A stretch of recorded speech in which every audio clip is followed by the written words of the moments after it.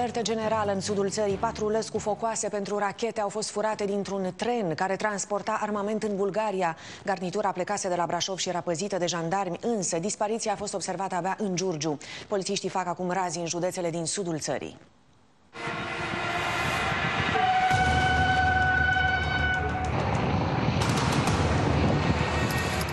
Vă rog frumos să plecați. Haideți, vă rog frumos, părăsiți zona.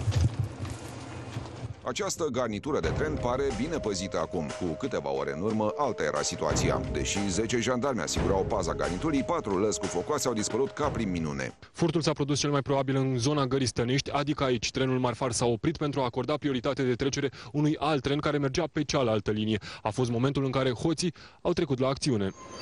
A fost descoperit la aproximativ 25 de kilometri departare, în gara din Giurgiu. Un angajat a observat că sigilul unui vagon este rupt, iar ușa este larg deschisă. A dat imediat alarma, iar la inventar, jandarmii au descoperit că le lipsesc patru lăzi în care erau 64 de focoase. Șefii lor au organizat imediat o conferință de presă în care au explicat că acele componente militare nu sunt periculoase. Aș vrea să precizez uh, un lucru foarte important încă de la început. Aceste componente care au dispărut nu sunt periculoase. De asemenea, țin să subliniez, cum și colegul meu a subliniat anterior, că aceste componente metalice nu prezintă pericol.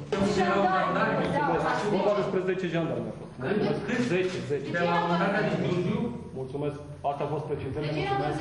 Nici o vorbă despre modul în care au fost păzite sau mai ales despre cum cred ei că au dispărut. Oamenii care stau lângă calea ferată au o idee despre cum au dispărut focoasele. Era decât numai ceferiștii.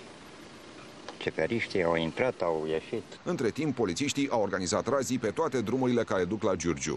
Bună ziua, agent principal Păul, Poliția Rutieră, vă rog să prezentați documentele. A rugat să coborâți să ne prezentați nouă bagajul. Pentru ce v-a oprit acum? Control de rutină. Deci controlul de rutină m-a oprit, am prezentat actele, sunt în regulă și mi-a dat drumul, mi-a zis drumul bun.